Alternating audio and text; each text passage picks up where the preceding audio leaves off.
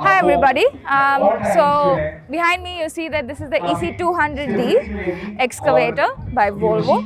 And this is a Make in India initiative. This is made in our Bangalore plant here in India.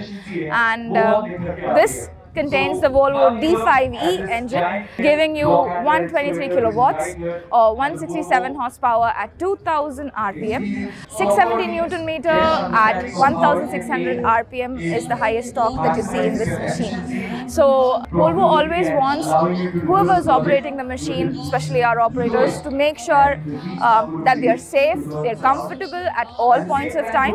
Um, so we do the best and you have good AC vents and even the joysticks, uh, they're easy to handle and uh, you can do long hours of work within our cable.